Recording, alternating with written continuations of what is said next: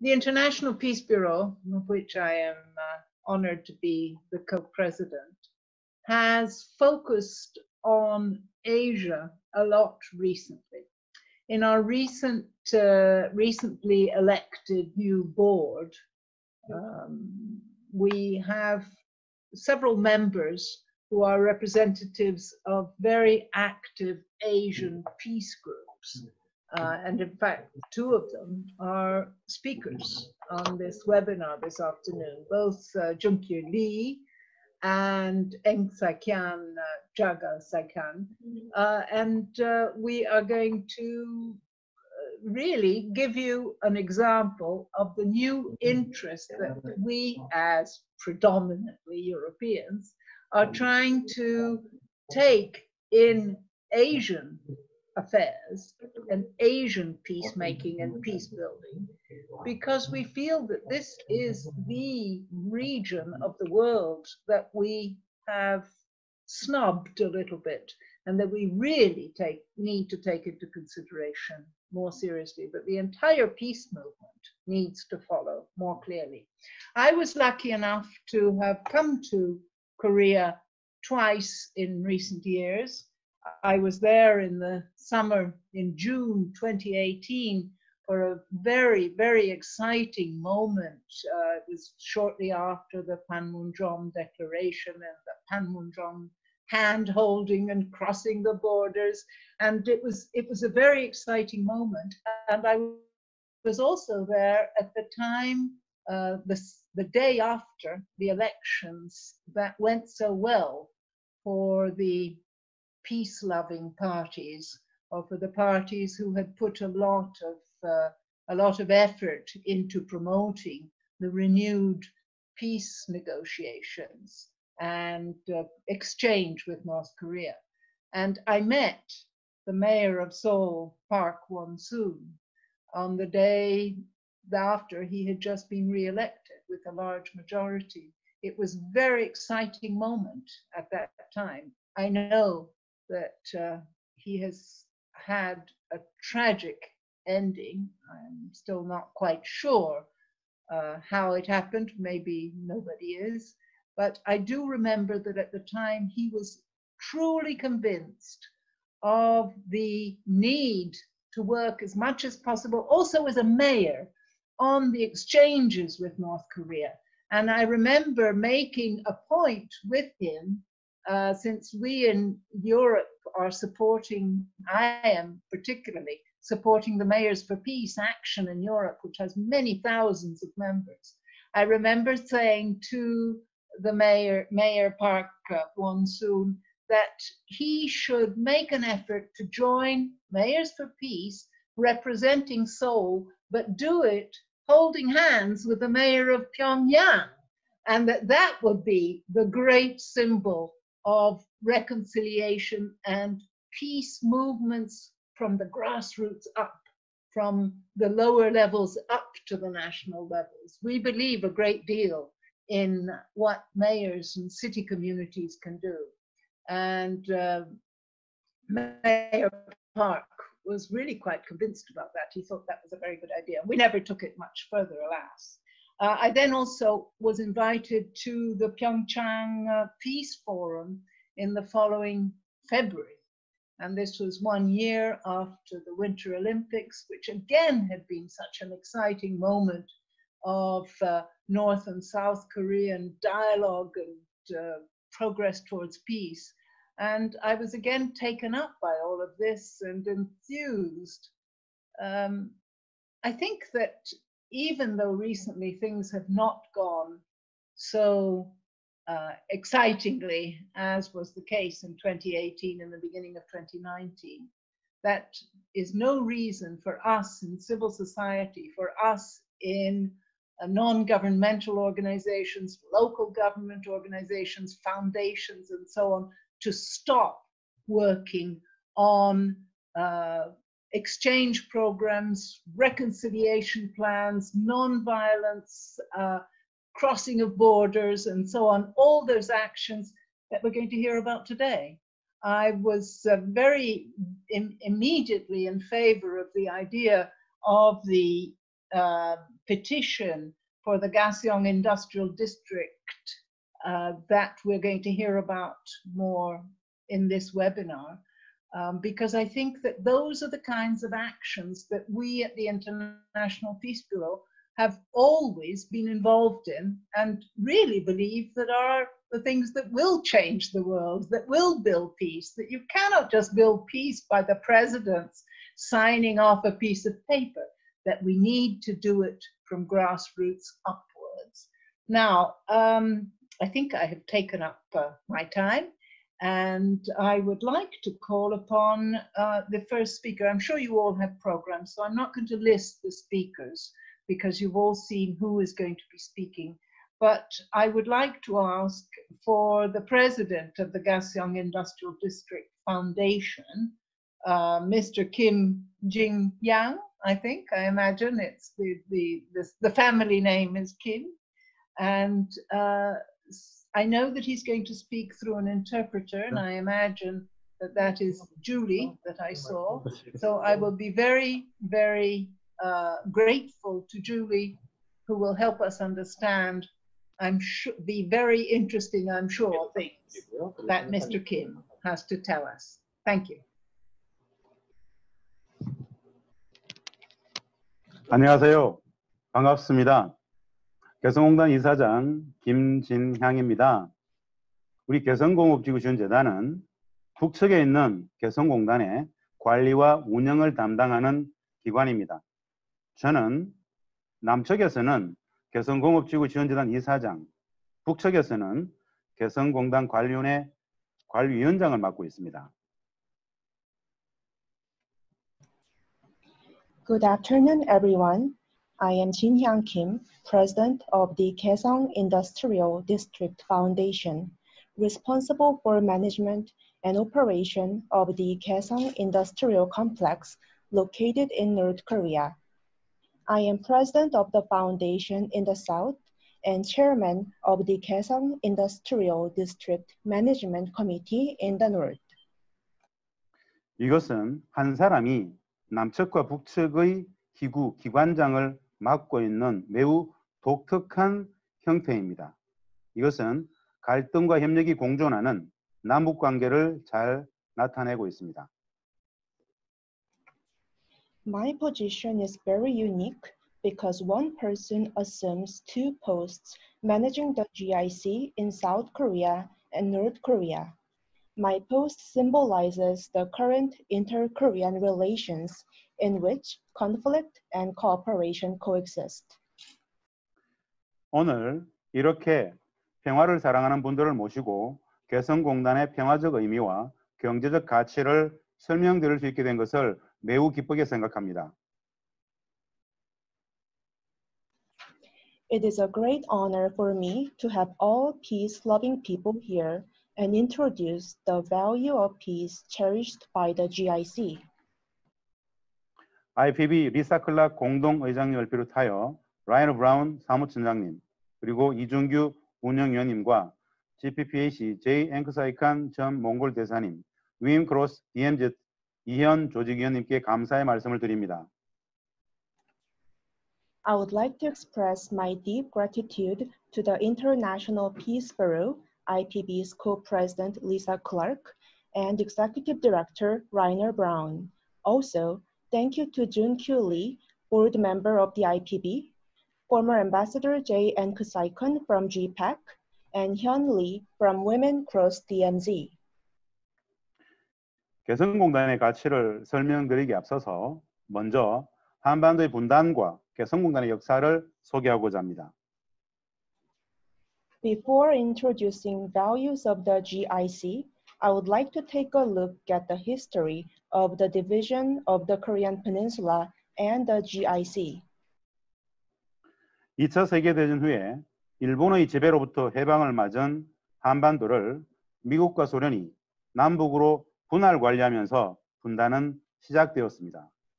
이로써 한반도는 이념 대립의 냉전 공간으로 바뀌었고 대립은 극한으로 치달아 1950년 전쟁이 발발하였습니다.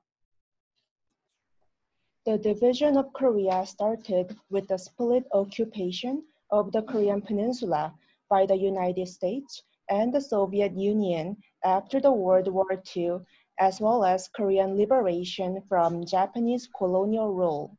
This transformed the Korean Peninsula into a place of the Cold War with ideological confrontation. The Korean War occurred in 1950 due to escalating confrontation. 1953년 7월 북미 간의 휴전협정으로 전쟁은 멈추었으나 한반도는 상이한 체제 하에서 남북이 군사적으로 대치 중입니다. 아직 종전 및 평화협정이 체결되지 못해 한반도에서 전쟁은 현재 진행형의 상황입니다. The war ceased due to the Korean Armistice Agreement in July 1953 between North Korea and the United States. However, the Korean Peninsula is in military confrontation as the two Koreas have different regimes. Since an end of war declaration as well as a peace treaty have not yet been concluded, the war is still ongoing on the Korean Peninsula. 남북은 분단에 따른 불신과 대결을 넘어 평화로 가기 위해 분단 이후 처음으로 2000년 6월 정상회담을 개최했고 개성공단은 그 토대 위에 설립된 최초의 남북 간 경제협력 사업입니다. The South and the North held the first Inter-Korean Summit in June 2000 to move beyond the phase of distrust and confrontation to a peace regime. The GIC is the first industrial complex for inter-Korean economic cooperation established on this legacy. 남북이 군사적으로 대치하는 군사 분계선으로부터 불과 5km 떨어진 북측 지역에 개성공단이 조성되었습니다. 개성공단은 서울에서 60km, 평양, 평양으로부터는 160km 떨어져 있습니다. The GIC was built in the North Korean territory, just three miles from the military demarcation line, MDL, where the two Koreas face off militarily. The GIC is 37 miles away from Seoul and 99 miles away from Pyongyang. 개성공단은 북측 개성시 일대 약 2천만 평 개발을 목표로 설계되었습니다만 현재 전체의 5%인 100만 평만 개발되었습니다. The GIC was originally designed to develop about 6,610 hectares of Kaesong region in North Korea.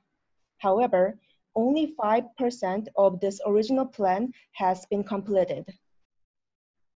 2016년 2월 기준 125개의 남측 기업에 5만 5천 명의 북측 근로자 및 천여 명의 남측 근로자가 협력하며 생산 활동을 하였습니다. 누계 생산액은 32억 달러였습니다. According to the statistics of February 2016, about 55,000 North Korean workers and 1,000 South Korean workers worked together at 125 South Korean companies in the GIC.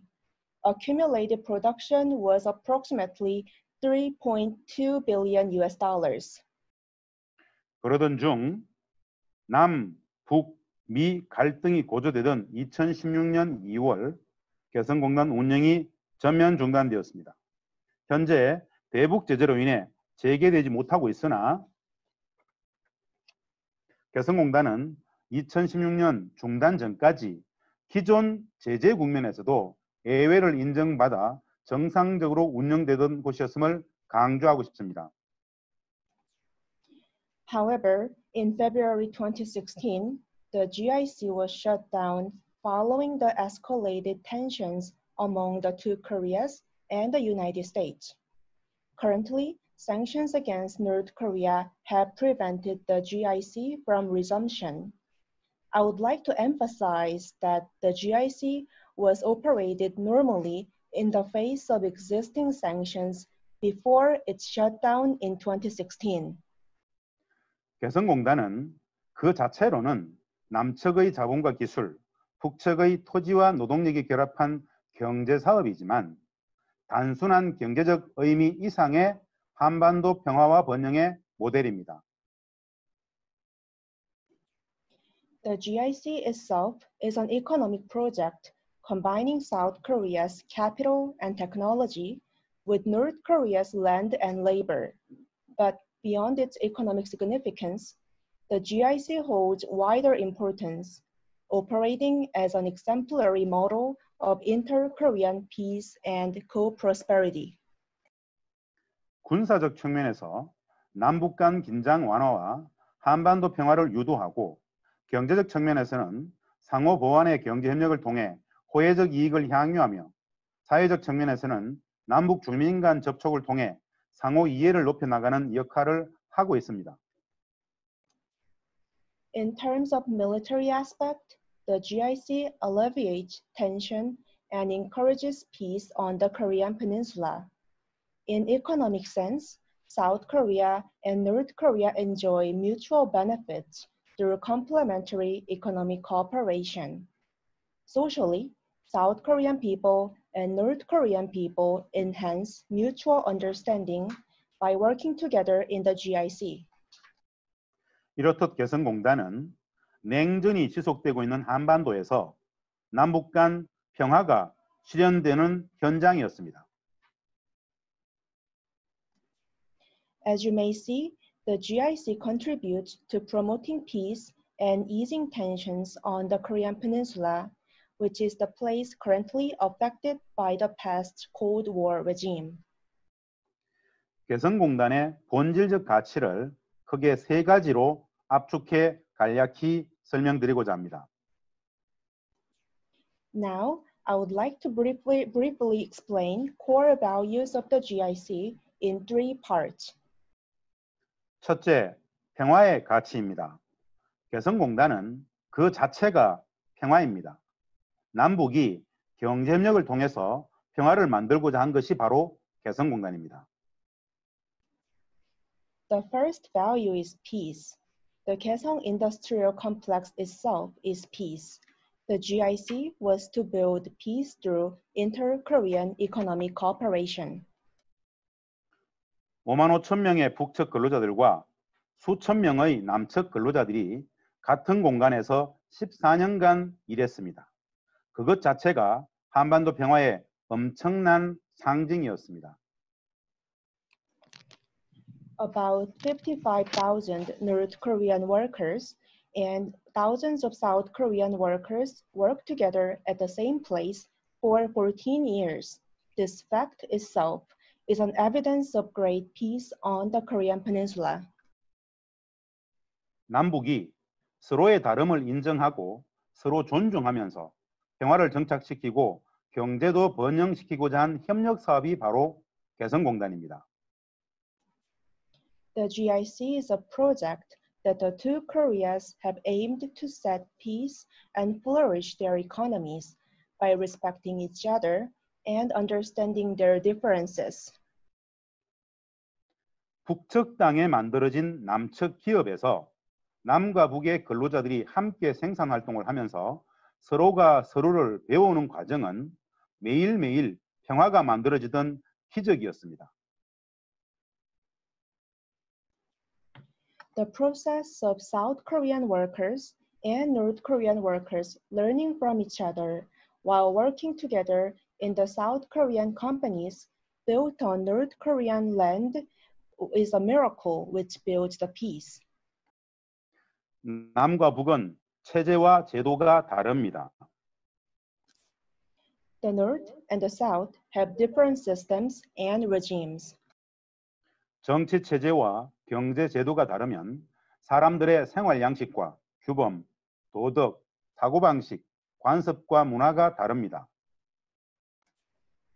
As political regimes and economic systems are different, people's lifestyles, norms, ethics, ways of thinking, customs, and cultures also differ.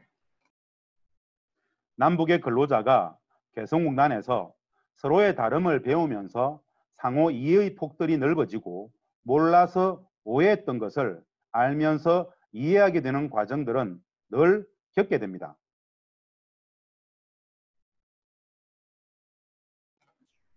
Therefore, at the GIC, people always go through the process of understanding each other as they learn about some differences and deepen their perspectives by realizing about misunderstandings from lack of knowledge.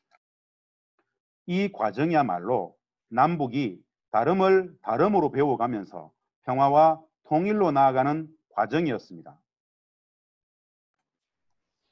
This process had to peace and unification when North Korea and South Korea learn about their differences.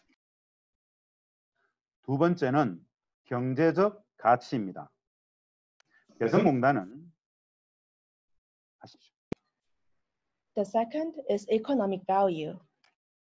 개성공단은 남측의 자본과 기술이 북측의 토지와 노동력을 만나 최고의 경제적 가치를 창출하는 곳입니다. 경제적으로 완벽히 윈윈하는 곳이 바로 개성공단입니다. The GIC creates great economic values as the South's technology and capital meet the North's land and labor.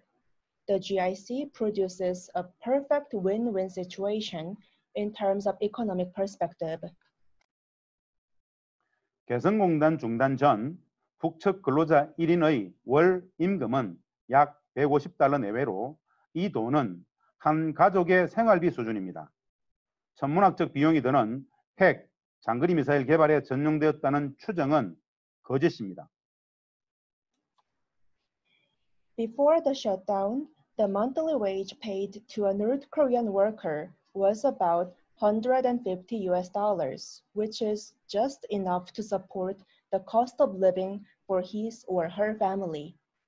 The claim saying that the wage being diverted to develop costly nuclear and long-range missiles is false. 즉 북측의 퍼주기라는 일각의 주장은 거짓입니다. 북측 근로자들은 실제 자신들이 받는 금액을 확인한 후 직접 서명할 만큼 임금에 민감했습니다. 근로자들은 자신의 월급에 근거하여 노동의 정량만큼 물품을 공급받았고 나머지는 북측 돈으로 받았습니다. Some claim that the GIC is a dollar box to North Korea, which is false. North Korean workers were so sensitive about their working wage that they confirmed receipt of wages with their own signatures and received ration items according to their actual working hours. They received the rest in North Korean currency. 세 번째는 안보적 가치입니다. The third value is security. 개성공단은 남북이 군사적으로 대치하던 군사분계선 인근의 북측 군사지역에 조성되었습니다. 이곳은 본래 6만여 명의 북측 병력이 주둔하던 군사지역이었지만 공단을 조성하면서 북측은 해당 병력을 후퇴시켰습니다. The GIC was built in North Korean military area near Inter-Korean Military Demarcation Line, MDL, where the South and the North confront militarily. This place used to hold 60,000 North Korean soldiers. However, the North pushed these forces back to develop the industrial complex. 남측 또한 개성공단 건설을 위해 군사 분계선과 비무장지대를 가로질러 서울에서 개성으로 이어지는 도로를 연결하였습니다. Also, the South connected roads from Seoul to Kaesong across the MDL and the demilitarized zone to build this complex. 북측의 주요 군사 지역을 남측의 인원, 차량이 매일 통과함으로써 출입을 위한 남북 군 당국 간 소통이 상시 이루어졌습니다. 남북 간에 우발적인 군사적 충돌이 발생해도 개성공단으로 인해 더 이상 확대되지 않았습니다. As South Korean personnel and vehicles pass through major military areas in the north every day, communication between the South and the North Korean military authorities was held at all times. Although there were accidental military confrontations between the two Koreas, it was not accelerated or spread further thanks to the GIC. 이렇게 개성공단 그 자체가 물리적으로 군사적 긴장과 전쟁 위기를 막아주는 완충 장치였습니다. the GIC has been a real buffer which has prevented military tensions and possibilities of war. 독일 빌브란트 전 총리의 동반자이자 동방 설계한 에곤 바르는 개성공단을 두고 이렇게 이야기했습니다. I would like to share a quote from Egon Bahr. Egon Bahr, a key aide to Chancellor Willy Brandt, who helped pioneer the Ostpolitik, talked about the GIC. 내가 동방을 설계하면서 미처 상상하지 못했던 놀라운 일이다. 한국의 통일 정책 다른 거 필요 없다. 개성공단 방식을 따라가라. 제2, 제3의 개성공단을 따라가다 보면 그 중간 지점에 경제 통일이 올 것이다. 그걸 발판으로 한국의 궁극적 통일이 있다. 한국형 통일 모델은 개성공단이다. 라고 말입니다. Quote, It's a surprise. I never imagined this while designing the Ostpolitik policy. There is nothing else needed for Korea's unification policy. Just follow the GIC. If there are multiple complexes like the GIC coming out, economic unification will come sometime in the middle. Based on that, there is ultimate reunification of Korea. The model for Korean reunification is the GIC, unquote. 전 세계에서 유래를 찾아보기 힘든 체제와 제도를 넘어 평화와 통일을 만들었던 곳이 바로 개성공단이었습니다. The GIC has been an unprecedented place where the two Koreas have created peace and unification beyond their systems and regimes. 평화, 경제, 안보적 가치를 따져볼 때 개성공단을 대체할 수 있는 곳은 전 세계 어디에도 없습니다. Considering the values of peace, economy, and security, there is nowhere to replace the GIC. 더욱이 개성공단은 북측이 안정적으로 경제 발전을 이룩하고 국제사회와 함께 평화롭게 살 수 있는 방법입니다. 한반도 평화는 동북아 평화, 세계 평화의 첫 출발입니다. Moreover, the GIC will contribute to the stable economic development of North Korea.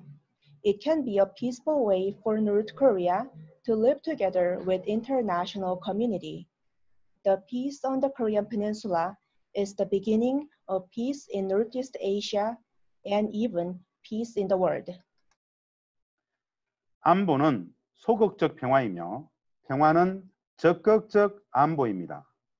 개성공단이 재개되어 남북이 합의한 대로 2천만 평의 공단이 완성된다면 남과 북 그리고 국제적 기업 5천여 개가 입주하게 되고 연관업체만 해도 10만여 개가 가동될 것입니다. Peace means active security, while security is considered passive peace.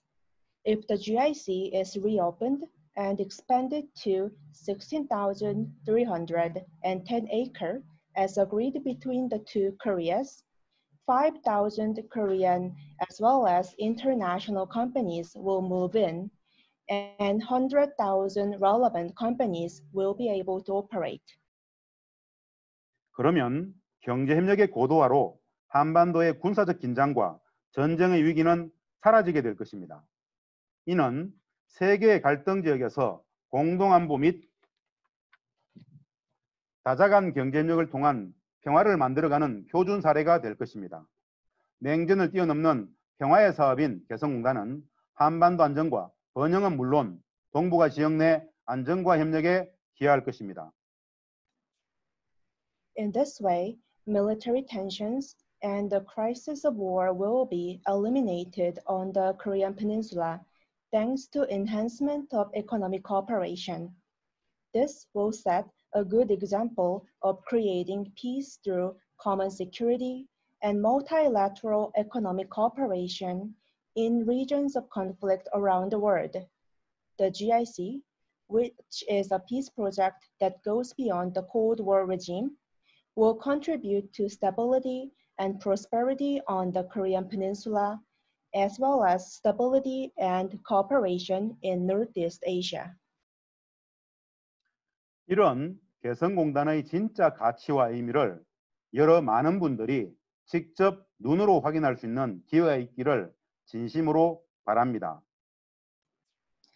I truly hope that many of you will have an opportunity to see true meanings and values of the GIC.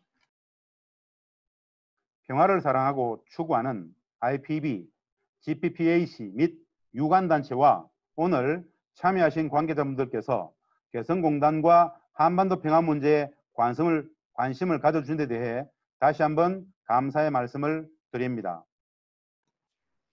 I would like to again express my sincere gratitude to all peace-loving organizations, IPB, GPAC, and others, as well as all participants for your interests in peace on the Korean Peninsula, including the GIC issue.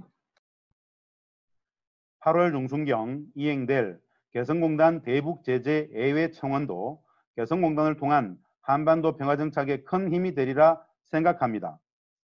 또한 여건이 허락한다면 우리 재단은 금년 중 노벨 평화상 수상자 월드 서밋에서 함께 동문제로서 협력할 방안을 찾고 또한 IPB 본사가 있고 유엔 대북 제재위 의장국인 독일 베를린을 찾아서 직접 이 문제를 논의하는 것도 의미 있다고 생각합니다. The petition in the middle of August regarding the GIC to be exempted from the sanctions will be a great help to settle peace on the Korean Peninsula. Also, if conditions permit, I think it will be significant for our foundation to find ways to work together at the World Summit of Nobel Peace Laureate within this year. Also, it will be meaningful to visit Berlin, Germany, where the IPB headquarters is located to discuss this issue. As you know, Germany holds the chair of UN Sanctions Committee on North Korea. 개성공단이 중단됨으로써 평화와 번영의 공간은 문을 닫았지만 우리 모두의 관심과 노력이 모여 다시 한반도와 동북아에 평화가 정착될 것을 확신합니다. 그 첫 시작은 개성공단 재개입니다. 개성공단 재개를 응원해 주십시오. Although the place for peace and prosperity has been closed due to the shutdown of the GIC, I am confident that our interests and our efforts will help the settlement of peace on the Korean Peninsula and even in Northeast Asia. The first step will be the reopening of GIC. Please support resumption of the GIC. 감사합니다. Thank you very much. Thank you. Thank you really enormously, Mr. Keith. Thank you very much. That was wonderful and exciting for all of us who didn't know that much about the GIC. We now see that it's uh, extraordinary and so important for everything that we at IPB right now think is important. Uh, it was also absolutely fascinating for us to hear a quote from Egon Bahr, who was a member of the Olof Palme Commission uh, all those years ago. And uh, the IPB is concentrating a lot in its near future on understanding what message the Olof Palme Commission can give us for the uh, for the for the coming for the near future of the world.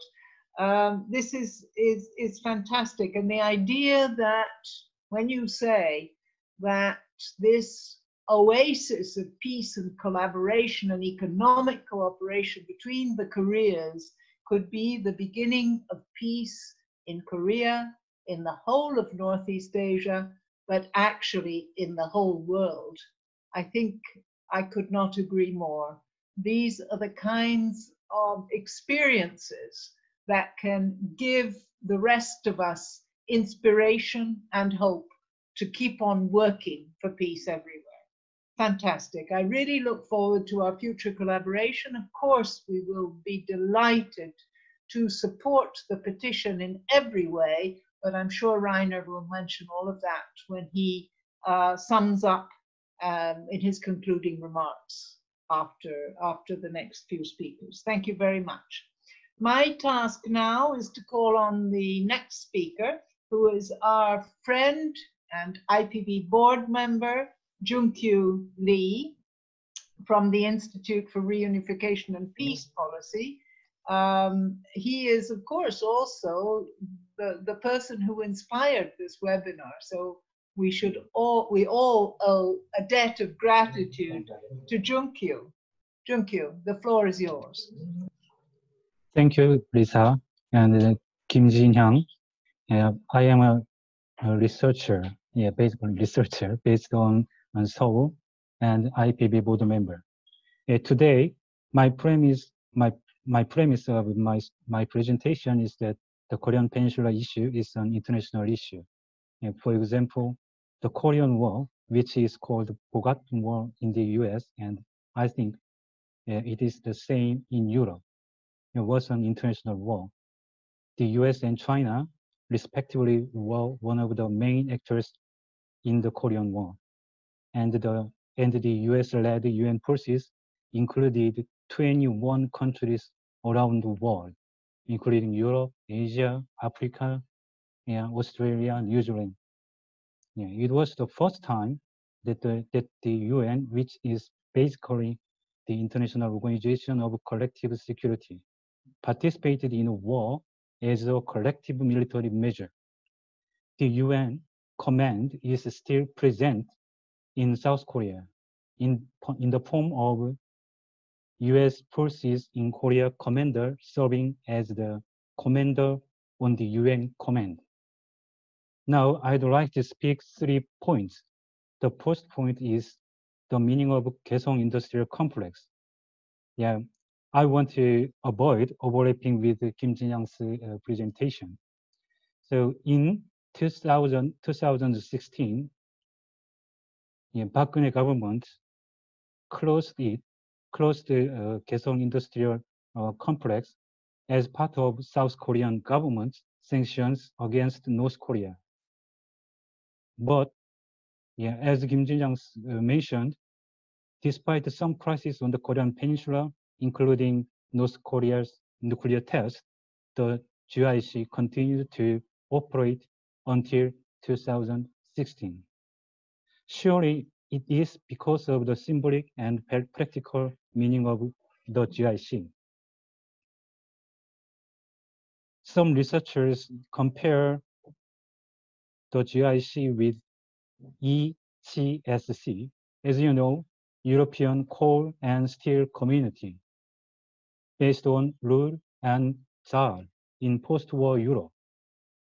Although the GIC and ECSC have different historical background and international environment, both are attempts to build a foundation for common security and peace by converting the areas of military confront confrontation and conflict into the zone for economic cooperation and peace. The GIC is connected with a wider and bolder vision.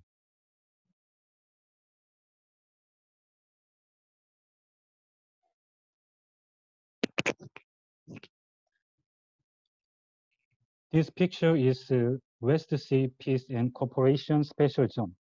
The vision is contained in the agreement, in the agreement of Inter-Korean Summit held in October 2007. The idea has not been realized because the administration in South Korea has changed and the relationship between the uh, two Koreas mm, between the relation to no, the two Koreas relations has deteriorated. But the idea is uh, transformative thinking to turn the waters of the border between the South and the North in the West Sea into a peace zone.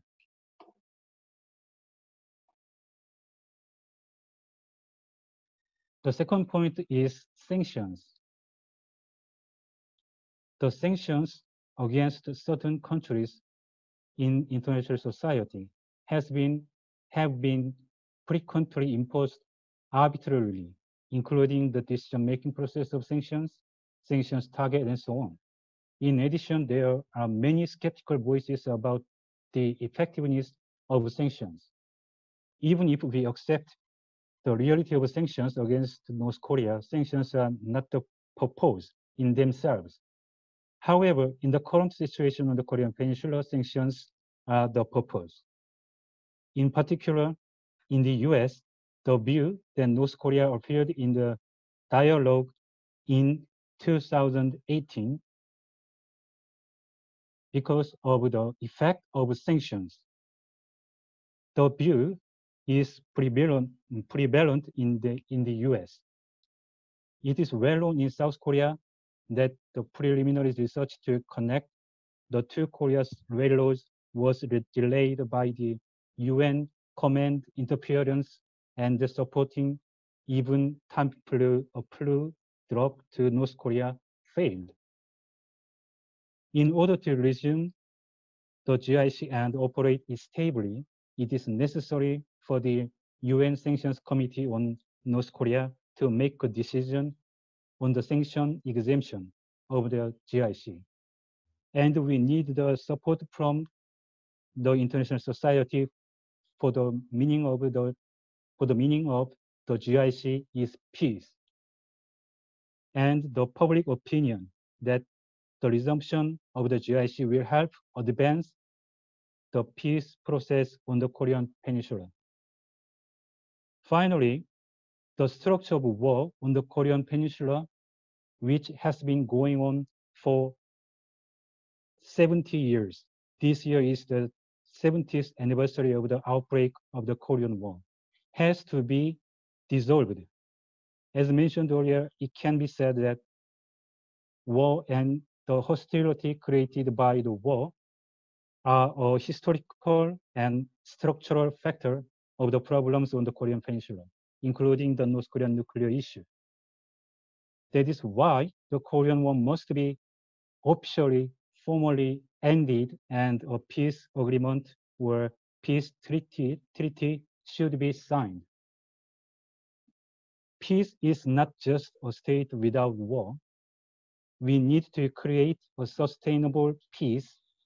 And furthermore, we must aim for peace building, which includes overcoming the division regime on the Korean Peninsula, promoting balanced economic growth and co-prosperity of the nation. Yeah, balanced economic growth and co-prosperity of the nation. This expression is the, is the expression of Panmunjom Declaration. And transforming international relations in East Asia by the spread effect spread effect of Korean peace process.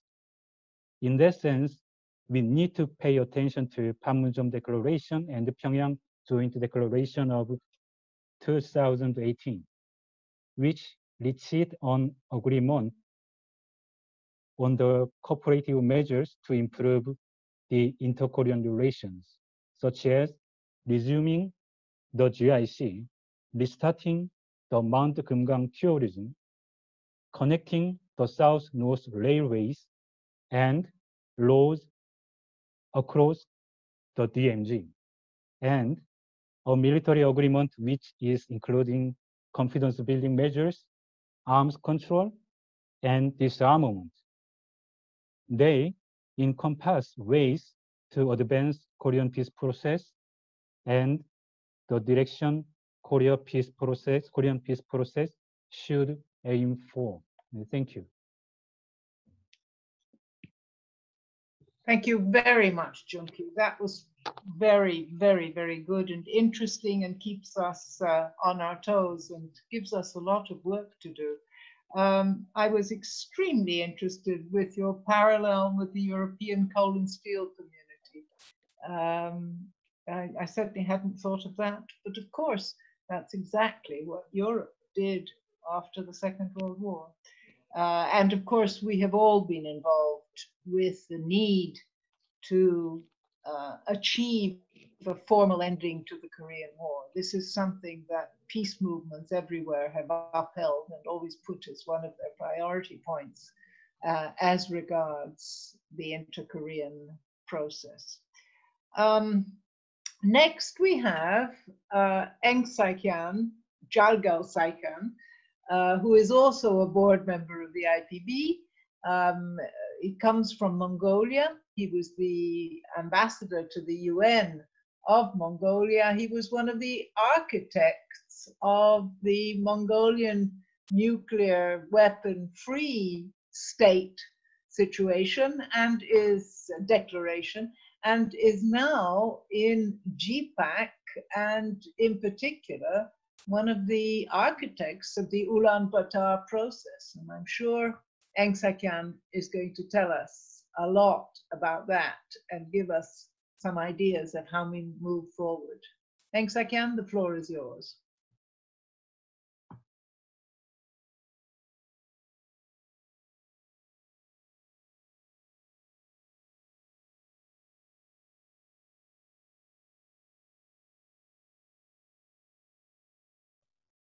Can you hear me? Yes, we can hear you. Yes, we can hear you. Okay, okay, thank you very much.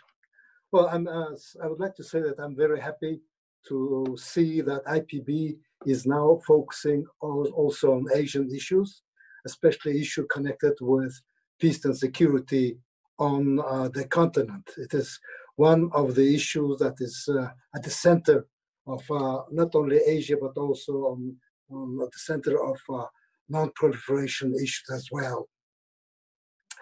Uh, the issue of inter-Korean uh, cooperation is very important and it is a very important part of the Korean peace equation anyhow. I would like to thank uh, uh, Kim uh, Jin Hyang, president of GD, uh, GIDF, and our colleague, Jun Kyu, for their presentations. I'm sure that it provides us with uh, a lot of uh, background material and information that will be useful for our uh, petition process in the future. Now I would like to say a few words about uh, Mongolia. Mongolia is part of Northeast Asian, Asian region and interested in promoting peace in this area. We have a saying that a duck is calm when the uh, sea is calm. Hence, we try to promote uh, uh, confidence and cooperation. We're, we're a small country. We don't have a big army, but nevertheless, we're trying to focus to promote confidence and cooperation in the region. We see a lot of untapped uh, uh, reserves for trust and peace building uh, and that many countries and civil society organizations can play a very useful role in this based on their comparative advantages. Mongolia's comparative advantage is that uh, not only that it is a small country, but a country that does not have territorial or border problems uh, with its neighbors, nor, nor a hidden political agenda with regard to peninsula and maintains good relations with both of the Koreas, both North Korea and with South Korea. And we're trying to play a role of uh, trust and bridge building through promoting, as I said, confidence and dialogue in the region. Uh, thus, since 2013, Mongolia is promoting a process called Ulaanbaatar Dialogue, it's a, a one and a half track regional dialogue among the states of the region and other states, including the United States and uh, some European countries. Uh, when we host meetings that includes both Koreas, representatives of both Koreas, which is uh, the strong point for Mongolia, because both of them are participate in our meetings. And we try to focus not on the big issues, but on soft security issues like uh, cooperation in economic uh, area, infrastructure, and some other areas of mutual interest and benefit that uh, all the sides would be interested and would benefit from it. So in, in that process, Ulaanbaatar dialogue, even uh, uh, representatives of governments participate. Of course, they wear, wear another hat in, uh, as uh, uh, informal in their personal capacities. Especially, we know that all the time the North Koreans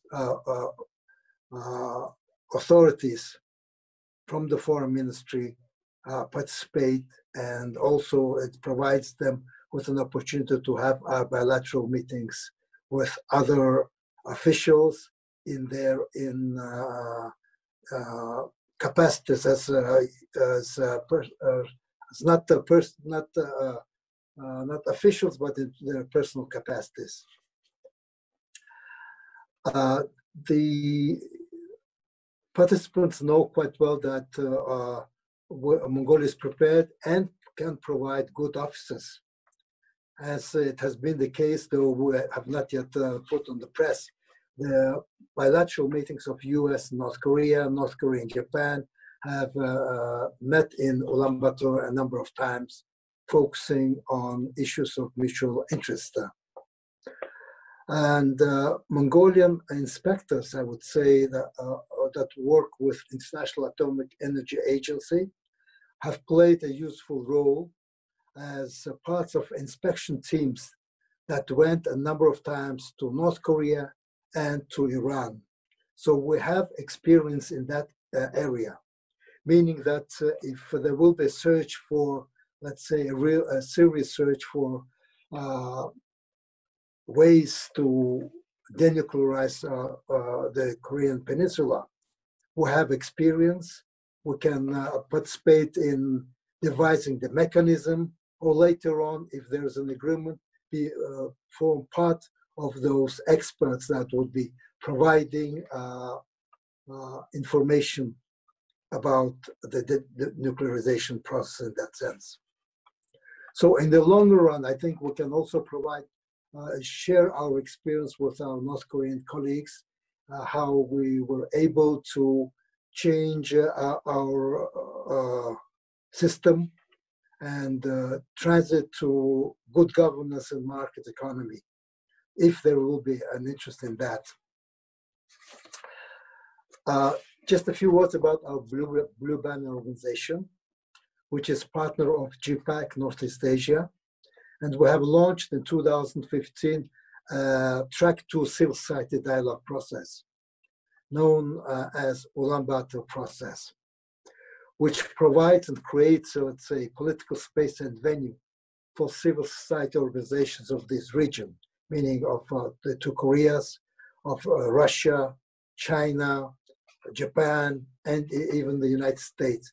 They come together uh, to uh, to meet under the umbrella of uh, uh Ulaanbaatar process and exchange views on many issues in that sense.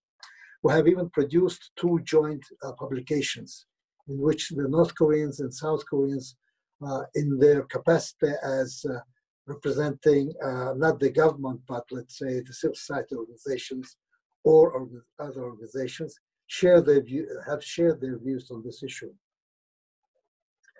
Uh, another issue that the Blue Banner uh, is focusing on is promoting the Northeast Asian nuclear weapon free zone issue. Uh, we have provided a number of uh, opportunities to exchange views on these issues, and we work closely together with the not only two Koreans but also with international think tanks like like RECNA, which is the Research Center for Nuclear Weapons Abolition, which is based in Nagasaki. On bilateral basis, we also try to bring together the experts from uh, uh, other countries, let's from Japan, from North Korea. Last year, we Blue Banner hosted such a meeting. this year we were planning to uh, hold a bit a larger meeting in June, but because of uh, the pandemic, we had to postpone this. In short, uh, Blue Banner is full, fully supports uh, this issue, discussing this issue, and is ready to work uh, to contribute to working on the text of the petition. If need could be would be that we can also transmit the ideas to our North Korean uh, colleagues, if need will be. Of course, that will depend on our uh, uh, conversations and our discussions. The, the petition campaign is just beginning. I'm sure that IPB would support and its support and the experience in such uh, uh, campaigns is very useful. Looking forward to working with our colleagues of uh, IPB. Thank you very much. Thank you, Dr. Enkhsaikhan. Thank you very much. That's uh, that was very exciting for me, certainly. And uh, I think that Reiner will have a lot to say about that in his concluding remarks about how we can get this petition moving. Um, now let's go to, we finally have a woman, um, Hyun Lee from the movement Women Cross the DMZ. Uh, I speak English, English, so I would tend to say DMZ, but still, I think internationally it's called the DMZ. And uh, I was guided to along the DMZ by a group of women from the Women Cross the DMZ when I was in uh, uh, in Korea at the beginning of last year.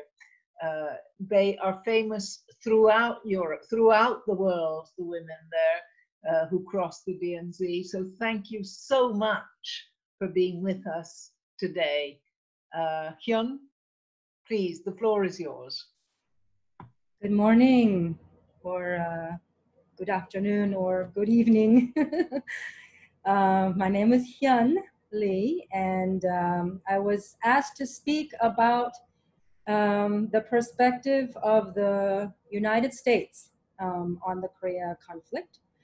So in that regard, um, I would like to discuss two main challenges um, vis-a-vis the US view of Korea. And then finish by offering um, what I believe is the best path forward. So the first challenge is how we diagnose the problem. When we ask the question, what is the Korea conflict? And when did it begin? So I'm going to pause for a few seconds for you to think about your own answer to that question.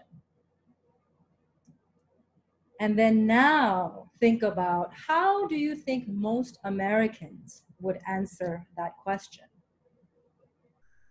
Is it the same or is it different? If it's different, therein lies the problem, I think. I believe that the perception among most Americans is that the Korea conflict began when North Korea started to develop nuclear weapons. Before that, most people in the United States never really had to think about Korea. From the perspective of Koreans, however, of course, the Korea conflict began way before that. Even before North Korea started to develop nuclear weapons, people on the Korean Peninsula had lived with constant war threats for many decades. So constant, in fact, that it has become normalized and people have become desensitized. But as Professor Kim um, explained earlier, the root of the problem is the unresolved Korean War. And this has actually had tremendous human cost. Um, I'm sure you can think of the entire list families torn apart for 70 years, um, people living with unresolved trauma because the war never ended, um, people living in silence because they couldn't talk about the war and their families in the north. Um, for the people in the north, sanctions and stunted economic growth, environmental degradation due to military exercises. I mean, the list goes on and on. But none of this had concerned Americans. And as someone mentioned earlier, of course, the Korean War in the US is called the Forgotten War. And whatever unfortunate thing happened in Korea is something that happened over there, not here, not in the US, not affecting our day to day lives. And then for Americans, the Korea conflict only became an urgent matter deserving of attention when North Korea started to test nuclear weapons and then shooting long range missiles into the air. And I think 2017 was really the first time that I felt that people in the US actually sat up to take notice. And there was a palpable sense of fear. Can they really hit uh, the U.S. with a nuclear bomb. You know, this is this was the for, foremost on people's minds. But because nobody had really paid attention to what was happening in Korea before that, it was as if the crisis just emerged out of nowhere. Why is North Korea suddenly behaving this way? And so then the only explanation that people could come up with was that you know Kim Jong Un is crazy and unpredictable, and therefore North Korea is very threatening to the world. So if your diagnosis of the problem is that it started with the nuclear weapons by North Korea, then of course your solution is going to be get rid of North Korea's nuclear weapons. But if your diagnosis is that the root problem is the unresolved war, then your solution is very different. It is to end the war. And I think this fundamental difference between how, you know, in how we look at the problem is the greatest obstacle right now in the US DPRK talks. It has been for, for, for many, many years. The second challenge that I will discuss is the intensifying competition between China and the US and what this will mean for the countries around in the region, but particularly for South Korea. As you know, the 2018 US defense strategy names four countries as the greatest security threats China, Russia, North Korea, Iran, and then China is top of that list. And it is a bipartisan consensus that the US must quickly shift to the Pacific theater because it does not want to fall behind China um, in the race for geopolitical control in the region. But because the US spent the last 20 years pouring billions into the so called war on terror in the Middle East, the US is very far behind, it's unprepared to constrain China. And great power competition, quote unquote, um, against a country like China is, is very, very different from fighting a war against non-state actors in the Middle East. It requires different weapons, different technology, different strategy altogether. And resources in the US are limited because Americans increasingly want a focus here at home, especially now we have multiple domestic crises. We have a you know, failure of containing the pandemic. We have rising unemployment. There is civil unrest due to systemic racism. So, what is the US answer to this uh, dilemma, this, to this situation? Is the, the Pentagon's answer, according to its defense strategy, is it has to strengthen alliances in the Indo Pacific. So, the more the US resources are overstretched, the more it will pressure its allies in the region to join in its campaign to isolate China. But this is based on the very critical assumption that US allies in the region agree with its assessment that China is their common threat. I don't know that this assumption really holds true for South Korea. For one, China accounts for almost 40% of its exports more than 30% of its imports. Um, you know, the US wants uh, other countries to boycott uh, Huawei, um, but you know that company accounts for 16% of South Korea's uh, electronics exports. Um, so this competition between China and US as it intensifies puts countries like South Korea in a very awkward position uh, because it has to choose sides. And I would think that South Korea has very little to gain and a lot to lose if it is forced to be in an adversarial relationship with China. And its alliance with the US will continue to pressure South Korea to subordinate its security and foreign policy priorities under US's broader interests in the region. So I think this means that Seoul will need to think very hard about what is the best path forward for its own future, for the future of its own people. I would say that the best path forward is already written in the Panmunjom Declaration that the two Korean leaders signed in 2018, which is to replace the, uh, the, the armistice agreement with a permanent peace agreement. Um, a peace agreement uh, that ends decades of hostilities with North Korea and then commits all parties to gradual arms reduction would allow the two Koreas to make peace on their own terms, resume cooperation, um, and it also free up the US to draw down its own forces in South Korea, which I would argue is actually in the strategic interest of the US. That, that's for another discussion. Um, a peace agreement is also a key step forward um, toward the broader vision of nuclear disarmament and real reallocation of military spending for human needs. Because really, our true security threats are the pandemic, climate change, systemic racism.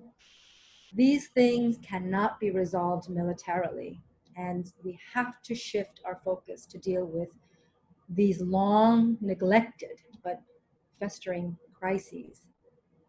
Last thing I will say is when we look at the last two years, what it has taught us is that we cannot just sit back and expect that the top leaders will work things out.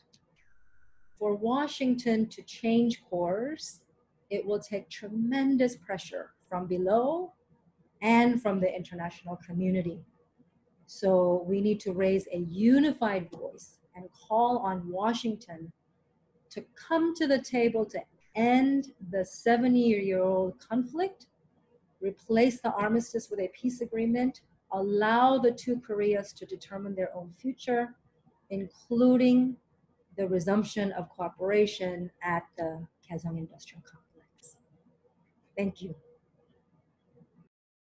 Thank you very much, Hyun that was uh, that was great. Thank you. Uh, I think that that is something that uh, we are very willing to participate in, uh, not just with the petition, but also perhaps pressuring our own countries, our own European countries, which I'm sure are much more open than Washington right now, than the current Washington administration, to actually uh, reformulate their positions and come out more openly in favor of a peace agreement uh, along the lines of the Pan Panmunjom Declaration. We now have some time for questions and answers and comments. Uh, Sean will help me identify the people who uh, raise their hand. I'm looking at this um, participants thing to see if I can find where, where it is that people are raising their hand. Uh, you can also raise your hand physically, the way I do. Um, and Sean and I will have a look for you. I see Balkrishna and Engsa Khan. Uh, Balkrishna first, please. Okay. So thank you very much, IPB and Mr. Reiner Braun and Lisa for arranging such an important webinar. In Asia, there are some very tricky problems and North Korea, South Korea is one of them. I visited South Korea five times. I also visited DMZ for some peace meeting, banned landmines meeting and peace meeting. And I interacted with the many South Korean people, youth, the students, some politicians, as well as I meet North Korean people not in their country, but out of their country, like in Europe. And I discuss with them, they want unification of the South Korea and North Korea. South Korean people also like unification of North Korea, South Korea, like Germany, like East Germany and West Germany. And for that, people to people contact is one of the way. People to people, when the people to people contact will increase, hopefully by Germany, Korea will be one. So I like to ask the, our uh, South Korean brothers and sisters, please show us some of the ways when the South Korea and North Korea can come together. Thank you. Thank you, Balkrishna. Enkhsaikhan. Yes, I have a question uh, uh, addressed to President uh, Jin Hyang Kim, if that's possible. I was told that uh, recently U.S. Deputy Secretary of State, Mr. Biegun, uh, visited uh, uh, Seoul and Tokyo. In Seoul, I'm sure that uh, he discussed the issues of inter-Korean cooperation. I was wondering whether the uh, issue of GIC was touched upon. Thank you.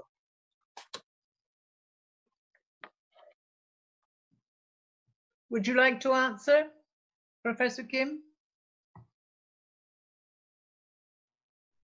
네, 답변 드리겠습니다. 음, 먼저 비건 차관보의 한국 방문 관련해서 개성공단 관련한 코멘트는 없었습니다. 먼저 해주시겠습니까?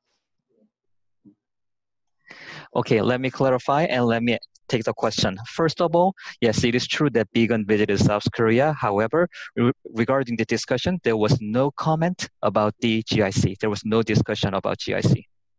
둘째, 비건 차관보의 한국 방문은 제가 판단하기에 최근의 남북 간 위기에 대해서 한미 간의 인식의 공유, 정보의 공유를 위한 것이었다라고 봅니다. 두 번째였습니다.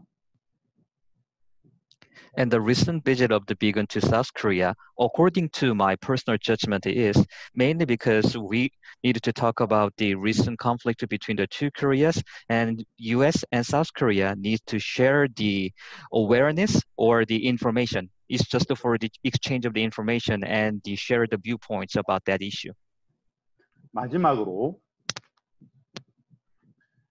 비건의 방문은 현재 11월 미국 대선 상황이 트럼프 대통령에게 결코 녹록치 않은 어려운 상황이라고 보고 북측 변수, 북측의 군사적 도발과 같은 어떤 군사 도발 같은 걸 막아내기 위한 사전 정지 작업, 그 정지 작업을 위해서 북미 간의 관계는 지금 아무것도 안 돌아가기 때문에 남북 관계로라도 돌파구를 마련했으면 좋겠다라고 판단해서 남북 협력, 남북 관계 모색에 적극적인 지지를 표명했다라고 보여집니다. And thirdly, it is related to the upcoming presidential election in the US. In the November, there will be the presidential election, but I don't think it's going to be favorable to the current president, Mr. Donald Trump. They want to control the so-called North Korean variable, such as the military provocation. They would like to do the refining work in advance, and that is why they came here. However, as you know, the relations between the North Korea and the US is not working. They would like to find out the breakthrough through between the in, through the inter-Korean relations, and that is why they supported the inter-Korean cooperation. Thank you very much, Professor Kim. Thank you. Uh, I must tell you, I am superstitious, and so please don't do that again to say that you uh, don't think this administration is going to win the elections because uh, I, I, it, it's too important for me the fact that we need to change something in the United States. I don't want it to be upset by our good luck to disappear because we bank on it too soon. I'm afraid uh, I have not been a very good moderator and we are running out of time. In fact, we have practically run out of time. So well, the first thing this means is that we're going to have to have another one of these webinars uh, because there's there's too much information for those of us who are who, who are not well versed on the subject. Um, but, but I now need to give the floor to Reiner, who is going to make his concluding remarks, and I will still say a, a final word of goodbye after Reiner is finished. Reiner, the floor is yours. Yeah, thank you so much, Lisa, and thank all the speakers very, very much for their highly interesting introductions. I think it was really a very good webinar, and it's quite impossible to summarize it. So I will say some words for IPB, but also some words as a German. And when the president of GCI, GIC starts with Egon Bahr, I will start with a quote of the boss of Egon Bahr, of the Nobel laureate Willy Brandt. He says, peace is not everything, but everything is nothing without peace. And I think this quote, which was a part of his speech at the Nobel laureate ceremony in Oslo, reflects the situation. We have to fight for peace. And before I come to the peace point, I would underline two points. First of all, I want to say for me, the Korean history, which problems we see now, has not started with the Korean War. For me, it has started with 1911, with the Japanese invasion in Korea, which was for me the start point of the very difficult development of these countries till to now, but this is definitely a point for discussion. And my second point, before I come to the concrete steps, is as a German, please be very, very cautious to compare the German developments at the end of the 80s and the beginning of the 90s, the unification process in Germany with the Korean process, mainly by three reasons. First of all, there was never a war between the two German countries. Never. Second, there was never so big economic differences between East and West Germany than there are between the two Korean countries. And third, never one of the German countries had their own nuclear weapons. So there were many, many differences, and we should be very careful to compare these situations. I know that the, some of the German foundations were offering workshops, lessons learned from the German unification. I am very, very careful to compare the situation. We definitely need a very deep discussion to find common and different developments. Third point, for me, and this is definitely the start point, is that the GISA project is a peace project. And this is what we absolutely needed. Sometimes history is so quick and we forgot that two years before we were discussing about a nuclear war. in this region, which immediately could be a worldwide nuclear war. So it takes time and we need peace projects. And the most advanced peace project is definitely the GIC project. That is, we have to do everything that it will be opened again, that it can start working. And it's for me not only a peace project, it is also a conversion project, which I today learned. It was a military base where they developed uh, the new factories and the new common work, workplaces. This is a big advantage. We all are fighting for conversion. It's for me a communication project. People has to speak with people. Enemies has to speak with each other, or so-called enemies has to speak with each other. It's a cooperation project, and it's an economic cooperation. And one lesson learned from the common security policy in Europe is that the common security policy starts with developing an economic relation between both sides. This was also a part of the 50s and the 60s between the so-called East Bloc and the West Bloc. So that is the big advantage that I think we should definitely support all the activities which are promoting the reopening of the GRC uh, complex. What does this mean for IPB? For IPB, it means for above all to learn and to follow the advice of our Korean friends. And I'm happy that our Korean friends start developing the petition. It is mainly their petition. They have to develop the text. They know the circumstances much, much better than we. And I think the role of IPB and all the others is to support what they are developing. We are open for discussion. We are open to help. But what we are, will do is to support the petition you will develop. And I'm very happy that you announced that you want to try to finish the petition till to the mid of August. I think then we can definitely discuss how to launch the petition. And my suggestion is that the next webinar will be the launching webinar for our petition. At that time, the petition should start looking for so many signatures as possible. Signatures which we are collected online and when you want also above all in your country offline. I think we should try to get a lot of signatures towards the end of the year and then think how we can launch the petition to the governments, to the United Nations, to the international community. What IPB can do is promote this, can looking for further partners, and I'm absolutely sure that also some of our trade unions with whom we are working will support the activities so that we really can have broad support for the petition. For me, this webinar was an excellent start point for, for working together, for common communication between us, and for developing the next steps for the petition.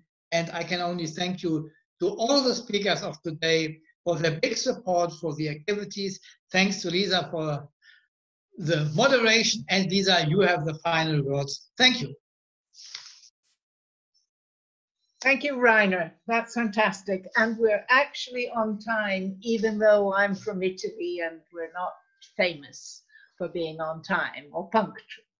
Uh, there is so much more I would like to know, I would like to ask our, our friends and our speakers that I'm very much looking forward to further opportunities to speak with you all about the Korean process. I think it's fantastic, uh, fantastic proposal by Reiner that we meet again in a public webinar like this one when we have the petition ready. Of course, we will have to be in communication before, before then, but we have another open public webinar with the petition uh, with all of you who were here today and then some and IPB will put its best work into helping disseminate and collecting further signatures for this very important petition.